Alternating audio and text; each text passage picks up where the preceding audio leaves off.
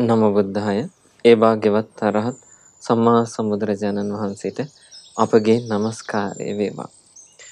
අද දවසේදී අපි මුලින්ම දායකත්වයේ දරපු පින්නතුන් සිහිපත් කරගන්නට කල්පනා කළා.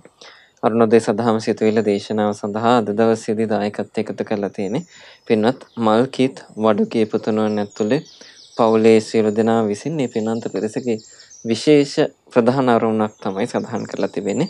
කල්යාණ මිත්‍ර පින්වත් ලොකු ස්වාමීන් වහන්සේ ඇතුළු ගෞතම බුදු සසුනේ පැවැත්මට දිවි හිමියෙන් කැපවන පින්වත් මහා සංඝරත්නයට සිත් පැතීම පිණිස ඒ ශාසනික කටයුතු සර ප්‍රකාරයෙන්ම සාර්ථක වේවා කියන ප්‍රාර්ථනාවෙන් තමයි අද දවසේදී ධර්ම දානමේ පින රැස් කරගන්නේ.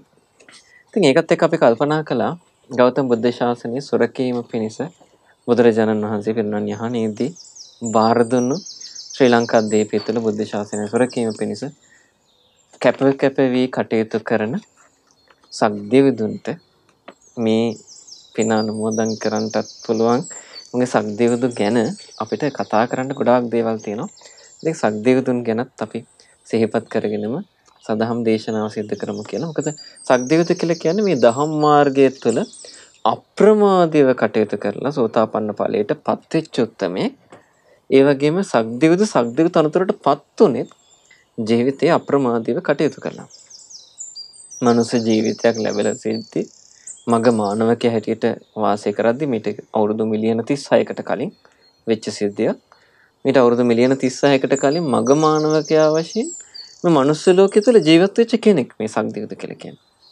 ඒතර එහෙම ජීවත් වෙන කාලේ අප්‍රමාදීව කටයුතු කිරීමේ පාකයක් හැටියට දෙදෙව්ලොවට අධිපති තාවතින්ස දිව්‍ය ලෝකෙටත් චතුම් මහරජක දිව්‍ය ලෝකෙටත් කියන දිව්‍ය ලෝක දිකටම අධිපති සක්දිව් තනතුරෙන් පිදුම් ලබන්ට එතුමන් වාසනාවන්ත වුණා. ඒ සක්දිව් තනතුරේ පිහිටා කාම සැපයන් භුක්ති විඳින අතරතුරේ නමුත් ධර්මය සොයා ගිය උත්තමෙක් තමයි සක්දිව්ද කියලා කියන්නේ. සක්දිව්ද නිරන්තරයෙන්ම ශ්‍රමණ බ්‍රාහ්මණින් සොයාගෙන ගිහිල්ලා ජීවිතේ යහපත උදා කරගන්න ධර්මයේ අහන්ට උත්සාහ කරපු කෙනෙක්. එහෙම උත්සාහ කරද්දී බාහිර නොයෙකුත් ශාස්ත්‍රූන් වහන්සේලා හම්බෙන්න ගියාට සැබෑ දහමක් උන්වහන්සේට හම්බුන්නේ එක්තරා අවස්ථාවක බුදුරජාණන් වහන්සේ මුණ ගැහිලා ධර්මයේ හුව ඒ වෙලාවේ තමයි බුදුරජාණන් වහන්සේ සක්කපඤ්ඤ සූත්‍රය දේශනා කළේ. ඒ සක්කපඤ්ඤ සූත්‍රයට අප්‍රමාදීව සමන් දුන්න සක්දෙව්දුන් සෝතාපන්න ඵලයටපත් වුණා. ඉතින් අද දවසේදී අපි සක්දෙව්දුන් කියන තමයි කතා කරන්නට යන්නේ. ඊට පෙර ආතු අපගේ ගුරු දේවෝත්තම පරම පූජනීය පින්වත් ලොකු ස්වාමීන් වහන්සේට නිදුක් නිරෝගී සුවපත් භාවයේ දීර්ඝායුෂ ප්‍රාර්ථනා කරලා ඉන්නවා අපි සියලු දෙනාම. ඉතින් ඒ ප්‍රාර්ථනාවත් එක්ක අපි ආරම්භ කරමු. අද දවසේ දරුණෝදේ සදහම් සිතුවිල්ල දේශනාව සක්දෙවිදු. සක්දෙවිදු ගැන තමයි අද දවසේ අපි කතා කරන්නේ. සක්දෙවිදුන්ගේ මේට අවුරුදු මිලියන 36කට පෙර නම තමයි මග මග කියලා තරුණයෙක්. මේ තරුණයා ජීවිතේ ගත කරනකොට ඒ තරුණයා කල්පනා කළා මේ ජීවිතේ හැමදාම දිගට පවත්වන්න බෑ. ඒක තමයි අප්‍රමාදී කල්පනාව කියලා කියන්නේ. ප්‍රමාදී කෙනා මේ ජීවිතේම හරය කරගෙන මේ ජීවිතේම පිහිට කරගෙන මේ ජීවිතෙන් එහා පරලොවක් ගැන හිතන්නේ නැතුව ජීවිතේ ගත කරලා දානවා. හැබැයි නොනැති අප්‍රමාදී කෙනා මේ ජීවිතෙන් එහා මොකුත් නැද්ද කියලා කල්පනා කරනවා. එහෙම කල්පනා කරනකොට සැබෑ දහමක් පරිපූර්ණ වශයෙන් දේශනා කරන තථාගත රහත් සම්මා සම්බුදුරජාණන් වහන්සේලා මීට අවුරුදු මිලියන 36කට පෙර පහළ වෙලා හිටියේ නැහැ. මීට අවුරුදු 36කට අවුරුදු මිලියන 36කට පෙර කියලා කියන්නේ කාශ්‍යප බුදුරජාණන් වහන්සේ පහළ වෙලා පිරිනුවන් පාලා ඒ කාශ්‍යප නම් වූ බුදුරජාණන් වහන්සේ නමක් මේ මිහිපිට හිටියාද කියන සාක්ෂියක් වන් නැති විදිහට අතුරුදන් වෙච්ච කාලයක්. ඒ වගේම ගෞතම නම් වූ බුදුරජාණන් වහන්සේ නම පහළ වෙන්න ඉන්නවා කියන ලකුණක්වත් පහළ වෙච්ච නැති කාලයක්. බුද්ධ කියන වචනේවත් අහන්න ලැබෙන්නේ නැති කාලයක තමයි මේ මග මානවක ඉපදලා හිටියේ. මේ මග මානවකට අහන්න ලැබුණා සමහර කෙනෙක් කතා කරනවා දිව්‍ය ලෝක ගැන සමහර කෙනෙක් කතා කරනවා බ්‍රහ්ම ලෝක ගැන. සමහර කෙනෙක් කතා කරනවා නිරය ගැන. සමහර කෙනෙක් කතා කරනවා ප්‍රේත ලෝකය ගැන. සමහර කෙනෙක් නොයෙකුත් ආකාරයේ මේ යහපත් තැන් ගැන උපතක් කරා යනවා. අයහපත් තැන් ගැන උපතක් කරා යන ගැන කතා කරනවා. මෙහෙම කතා කරද්දී මේ මගමානවකට මරණින් මත්තේ ඒකාන්තයෙන්ම උපතක් තියෙනවද නැද්ද කියන එක තහවුරු කරගන්න පැහැදිලි සාක්ෂියක් තිබෙන්නේ හැබැයි අප්‍රමාදී නුවණැත්තෙක් කල්පනා කරන්න ඕන ආකාරයට මේ මගමානවක කල්පනා කළා. මේ ලෝකේ පරලොවක් තියෙන්නත් පුළුවන් පරලොවක් නැති වෙන්නත් පුළුවන්. හැබැයි මම පරලොවක් නැහැ කියලා කටයුතු කළා. ඒ කල්පනාවෙන් ජීවිතේ ගත කළොත් මට මොකද වෙන්නේ? ඒ නිසා මගේ ජීවිතේ පව් පිරিলা පව් කරගෙන මං අයහපතේ මගේ ජීවිතේ පිරিলা යනවා. ඊට පස්සේ යම් විදිහකින් පරලොවක් තිබුණොත් ඒකාන්තයෙන්ම දුගතිය අයහපත් තැන්වල උපතක් කරා යන්නට මට සිද්ධ වෙනවා.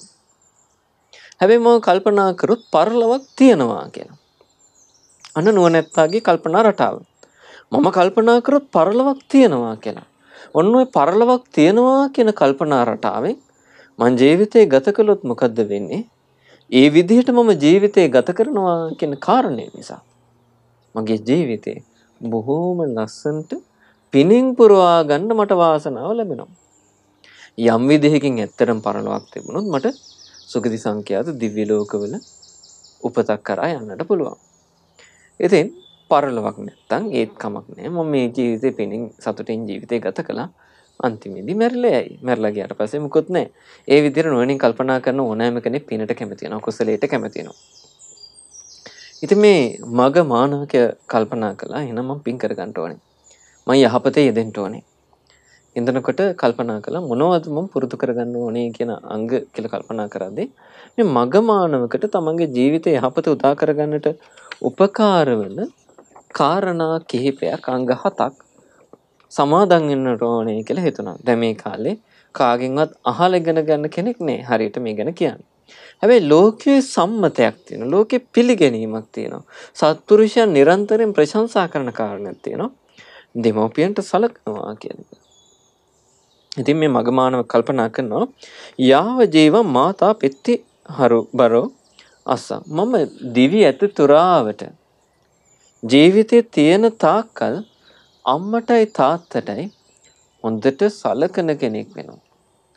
දිවි තිබෙන තුරාවට එක්ක අම්මයි තාත්තයි ජීවත් වෙනකම් එහෙම නැත්නම් මම ජීවත් වෙනකම් අපි අපි ජීවිතේ මරණයෙන් කියන දේෙන් අපි වෙන් වෙනකම් අම්මයි තාත්තයි මට පුළුවන් උපරිමෙන් හොඳට රැක බලා ගන්නවා කියන වෘත්තය සමාදන් වුණා. ඊට පස්සේ මෙයා කල්පනා කරා යාවගේ ජීවන් කුලේ ජිට්ටාපචායි අස්සම් මේ ප්‍රදේශයේ ඉන්න වැඩිහිටිය අය කුල දිටුවන්. පවුලල ඉන්න ජේෂ්ඨ වැඩිහිටිය අයට මම පුද සත්කාර කරන කෙනෙක්. වැඩිහිටියන්ට ගරු කරන කෙනෙක් බවට පත් වෙනවා. මගේ ජීවිතෙත් තිබෙන තාක්කල් එතකොට මේ කෙනාට තව කවුරුත් මේ මේවා කියලා දෙනව නෙමෙයි. තමන්ම අදිෂ්ඨාන කරනවා. පරලොවක් තිබුණොත් සුගතියක් කියලා එකක් තිබුණොත් වැඩිහිටියන්ට සලකනවා කියන ගුණාංගය මගේ මන් තුළ පිහිටුවාගෙන හිටියොත් ඒකාන්තයෙන් මේ සුගතියට යන්න දෙවියන් අතර යන්න ඒක උපකාර කරනවා. කියලා ඒක සමාදන් වුණා. ඊට පස්සේ යාව ජීවං සංහවාචෝ අසම් මම මේ ජීවිතයේ තියෙන තුරාවට මිහිරි වචනම කතා කරන කෙනෙක් වෙනවා. අනිත් අයගේ හිත රිදෙන වචන කතා කරන්නේ නැති අනිත් අයගේ සිත පීඩාවට වත් කරන වචන කතා කරන්නේ නැතුව සියලු දෙනාගේ යහපත පිණිස පවතින ප්‍රියමනාප හිත රිදෙන්නේ නැති කාරුණික වචනෙන් මං හැමෝමත් එක්ක කතා කරනවා කියන අදිෂ්ඨානය ඇති කරගත්ත ජීවිතේ තිබෙන තුරාවටම. ඊට පස්සේ හතරවෙනි අදිෂ්ඨානය ඇති කරගත්තා. යාව ජීවං අපිසුනා වාචෝ අසම් මං ජීවිතේ තියෙන තුරාවට කේලම් කීමෙන් වැළකීලා. තව කෙනෙක් මට කියප කෙනක් දෙයක් එයාව එයත් එක්ක තව කෙනෙක් බෙදවීම පිණිස තව කෙනෙක් ගාවට කියලා කියවන් කියන්නේ නැහැ. ඒ දෙන්න අතර මේ තියෙන මිත්‍රත්වයේ බෙදෙන ආකාරයෙන් මිත්‍ර බෙහෙදේ වෙන ආකාරයෙන් එක තැනක කියව එක තව තැනක ගිහිල්ලා මම කියන්නේ නැහැ. එහෙම කීම නිසා යම් දෙයක් එහෙම කීම නිසා දෙදෙනෙක් අතර මිත්‍ර සම්බන්ධතා බිදිලා යනවා නම් හිත මිතුරුකම නැති වෙලා යනවා නම් අඩදබරේ හට ගන්නවා නම් එවැනි වචන මම පාවිච්චි කරන්නේ නැහැ ජීවිතයේ තිබෙන තුරාවට. ඊට පස්සේ මෙයා අදිෂ්ඨාන කරා යාව ජීව විගතමල මච්චේරීන චේතසා අගාරං අජ්ජා වසෙය. මම මේ මසුරු මල මසුරු මල කියලා අදහස් කරන්නේ මසුරුකම කියලා කියන්නේ මසුරුකමයි ලෝභය කියන්නේ දෙකක්. දැන් ලෝභය කියන එක අපිට ඇති වෙනවා අනුන්ගේ දේවල් වලටත් අපිට ආසාව හට ගන්නවා. ඒකත් අයිති වෙන්නේ ලෝභයටනේ. මසුරු බව කියලා කියන්නේ දැන් අපි ළඟ මොන හරි වස්තුවක් තියෙනවා. අපි ළඟ යම්කිසි ධනයක් තියෙනවා. ඒ ධනය තව කෙනෙක්ට දෙන්න කැමති නැහැ. තව දෙනෙක්ට අයිති වෙනවට කැමති නැහැ. තමන්ගේ ධනය තමන් විතරයි පරිභෝග කරන්නේ. ඒක වෙන කෙනෙක්ට පරිභෝග කරන්න ලැබෙනවා කියන එකට එයා කැමති වෙන්නේ නැහැ.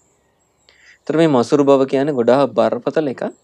දැන් සමහර කෙනෙක් කොච්චර මසුරු බව බලවත් වෙනවද කියලා කියන්නේ මැරුණට පස්සේ මැරුණට පස්සෙවත් එයාගේ දේවල් වෙන කෙනෙක් ගන්නවට කැමති නැහැ. ප්‍රේතයා භූතය වෙලා පිටිපස්සෙන් බලන් ඉන්නවා මේක වෙන කෙනෙක් පාවිච්චි කරනවාද කියලා.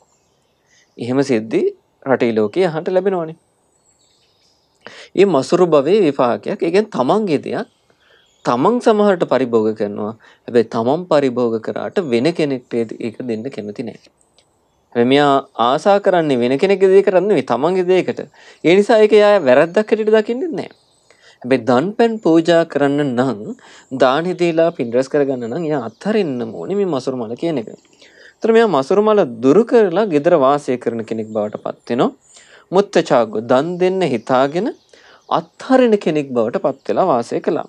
පයතපාණි දන් දෙන්නට අත් දෙක හොදගෙන හිටපු කෙනෙක්. ඒ කියන්නේ දන් දෙන්නම කැමැත්තෙන් හිටපු කෙනෙක්.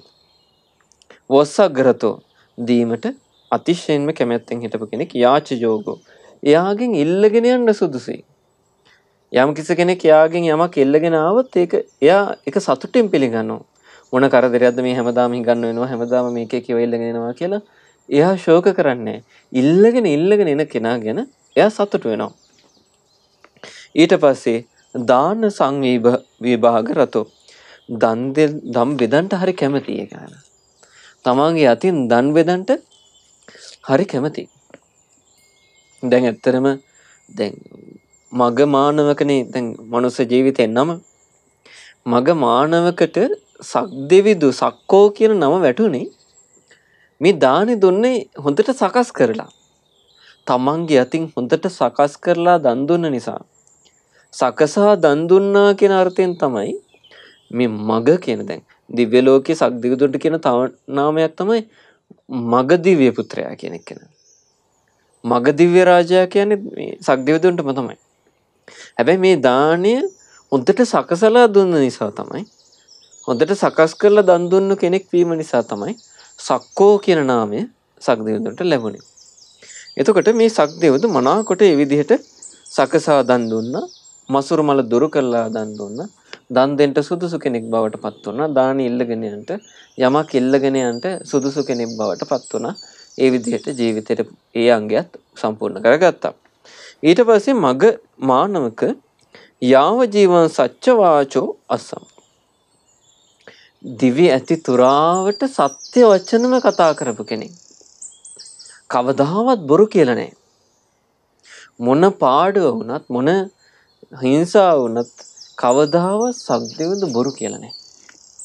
ඒක වෘතයක් විදිහට සමාදන් වුණා. ඒක අදිෂ්ඨාන කරගෙන හිටියා.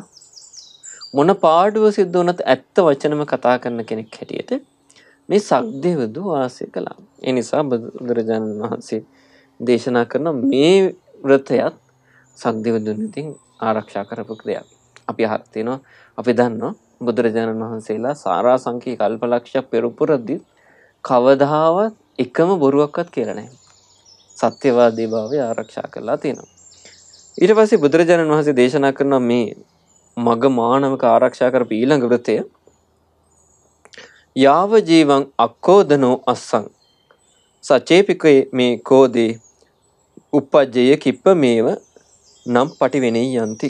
මේ මග මානවක අදිෂ්ඨාන කරගෙන ඉන්නවා. මං කවදාවත් ඉඳලා තියෙනවා. කවදාවත් තරහ ගන්නේ නැහැ කේන්ති ගන්නේ නැහැ ක්‍රෝධ කරන්නේ නැහැ හැබැයි වැරදිලා හරි මගේ හිතේ ක්‍රෝධයක් හටගත්තොත් ඒ කියන්නේ අපි සමහරලාට කලබලයට ඉන්න වෙලාවට එකපාරට කේන්ති යන්න පුළුවන්.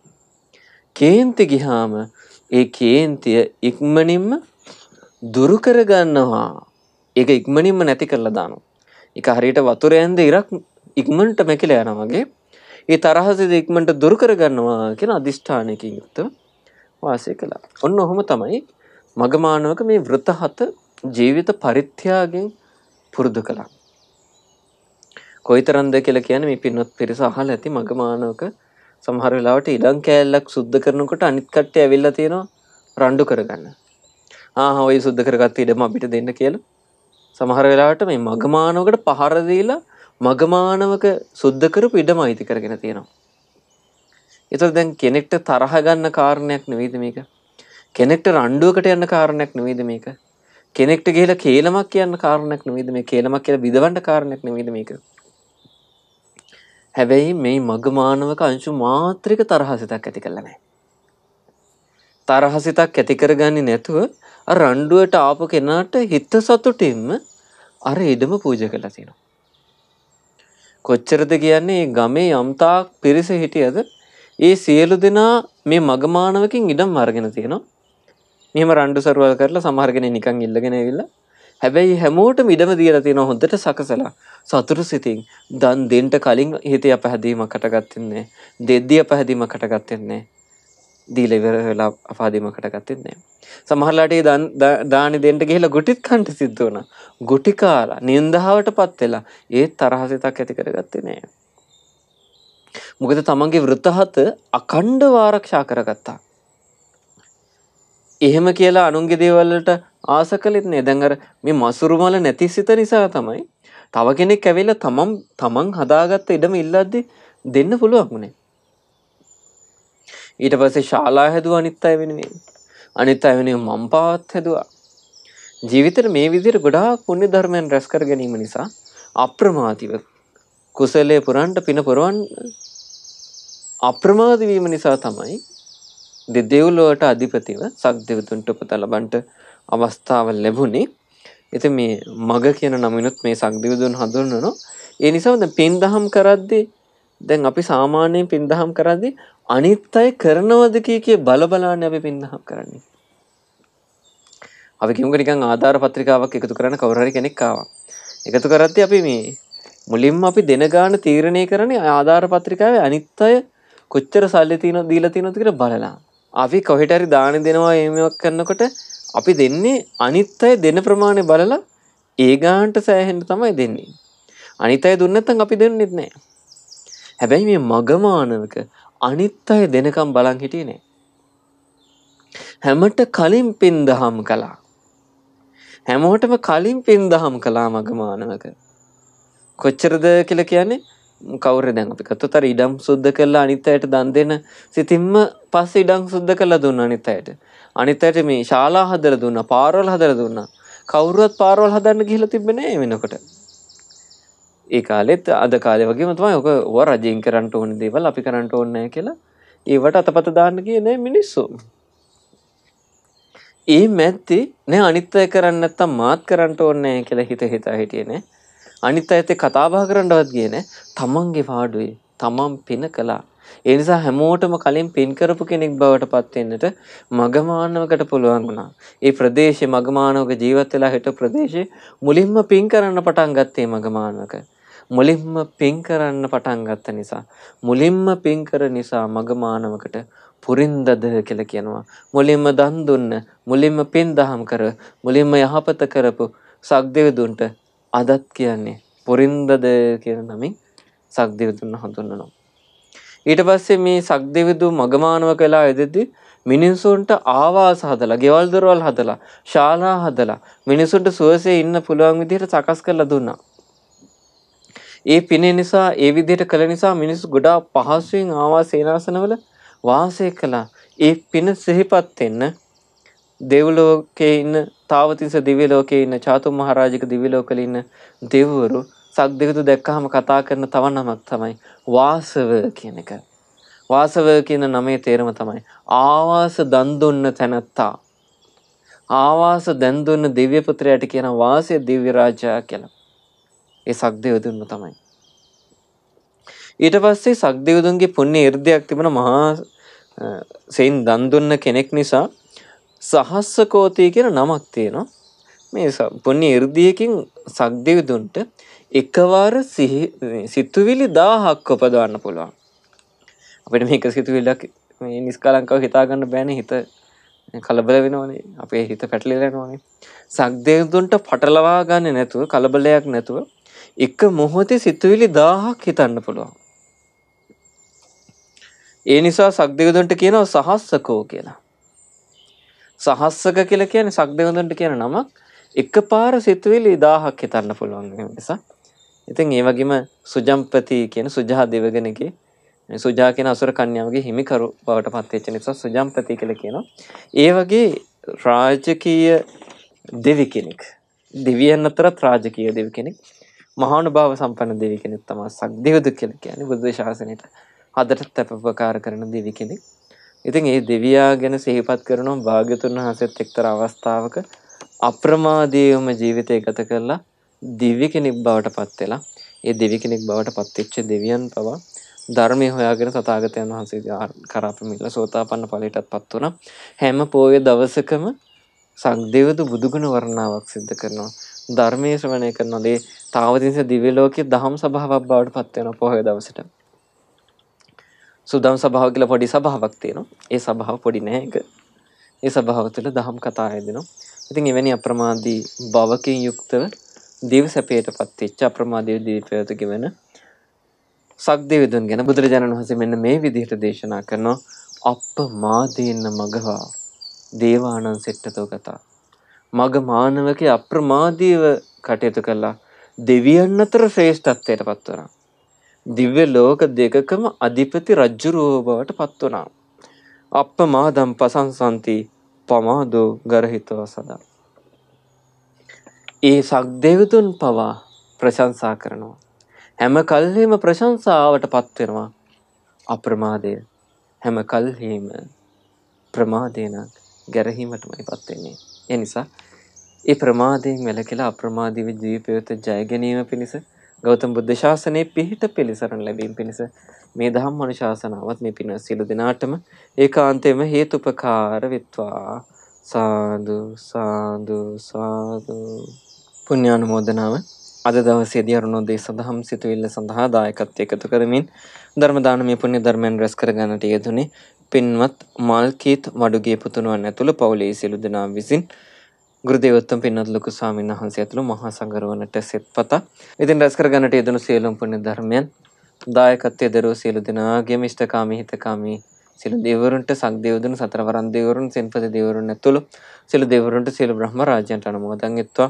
සියලු දෙවියන් බබුන් සැපයෙන් සැපයටපත් වෙත්වා. දෙවබුන්ගේ ධාර්මික රැකවරණ මේ පින්න සියලු දෙනා වෙත සැලසේවා. සියලු දෙවියන්ටත් සියලු බ්‍රහ්ම රාජ්‍යයන්ටත් උතුම් චතුරාර්ය සත්‍ය ධර්මයන් අවබෝධ කර ගැනීම පිණිස ඒකාන්තයෙන්ම මේ සියලු පුණ්‍ය ධර්මයන් හේතුපකාර වෙත්වා. සාදු සාදු සාදු. අපගේ ගුරු දේවෝත්තම පරම පූජනීය පින්වත් ලොකු ස්වාමීන් වහන්සේට මේ සියලු පුණ්‍ය ධර්මයන් අනුමෝදන් වෙත්වා.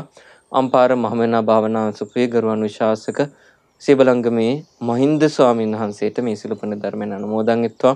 මහමෙනා වාසී රට ලෝක වාසී සිල්ගුණ ධම්ම ආරක්ෂා කරන පිළිවෙත හේදෙන සියලුම ස්වාමීන් වහන්සේලාට අනගාരിക මෑණිවරුන්ට පැවිදි අපේක්ෂිත දූපතුන්ට මේ සියලු පුණ්‍ය ධර්මයන් අනුමෝදන් වෙත්වා නිදුක් නිරෝගී සුවපත් භාවයේ පිණිස කරන්නා වූ ශාසනික කටයුතු සර ප්‍රකාරයෙන්ම සාර්ථකයෙන් පිණිස උතුම් ධර්ම අවබෝධය පිණිස ඒකාන්තයෙන්ම මේ සිළු පුණ්‍ය ධර්මයන් හේතුපකාර වෙත්වා. සාදු සාදු සාදු.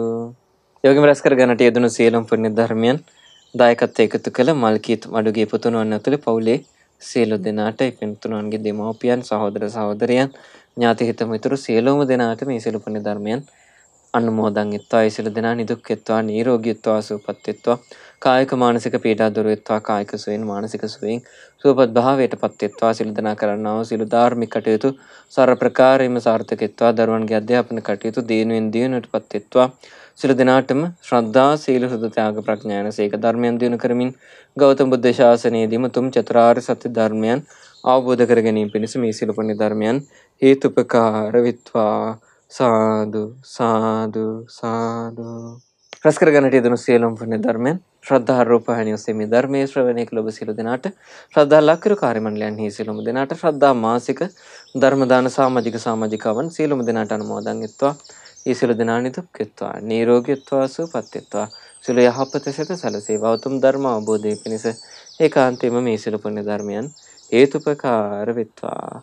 සාදු සාදු සාදු සියලු දෙනාටම තෙරුවන් සරණයි. නමෝ බුද්ධාය